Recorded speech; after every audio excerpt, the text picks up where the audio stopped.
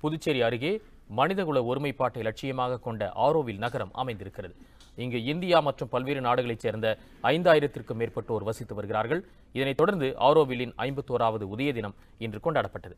இதையொட்டி பல்வேறு நாடுகளைச் சேர்ந்த வெளிநாட்டினர் மாத்ரி மந்திர் அருகே அமைந்துள்ள ஆம்பி தியேட்டரில் ஒன்று கூடினர். அங்கு போன் ஃபயர் எனப்படும் மிகப்பெரிய தீயை மூட்டி கூட்டு தியானத்தில் ஈடுபட்டனர். இந்நிகழ்ச்சியின் போது மாத்ரி மந்திர் தங்க நிறத்தில் ஜொலித்தது அனைவரையும் பரவசத்தில் ஆழ்த்தியது.